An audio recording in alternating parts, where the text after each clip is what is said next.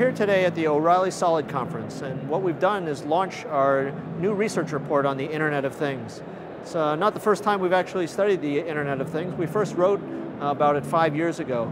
Now we have a new research report with a set of updated perspectives and new insights. Certainly the awareness of this uh, trend has become uh, more prevalent among uh, business decision makers.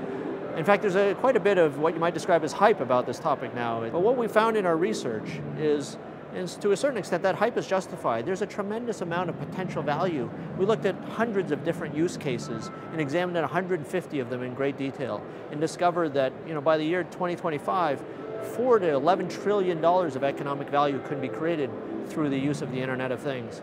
But one of the other things that we discovered is that in fact it will take a tremendous amount of work. It will require not only investment in technology, but innovation in management, innovation in business models in order for that value to be captured. And that's going to require actions across a number of different dimensions. But some of the other things that we discovered in our research are, for example, that nearly half of the value that can be captured requires interoperability, requires different IoT systems to be able to work together.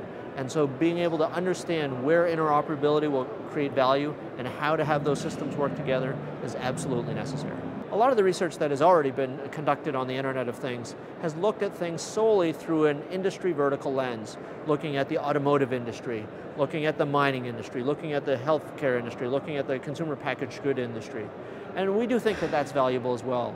But one of the things that we've added to the dialogue, because these systems are sensors and devices embedded in the physical world, connected by networks to computers, we actually started to look at things in terms of the physical settings in which these technologies were deployed. So take, for example, devices that are attached to the human body or embedded in it.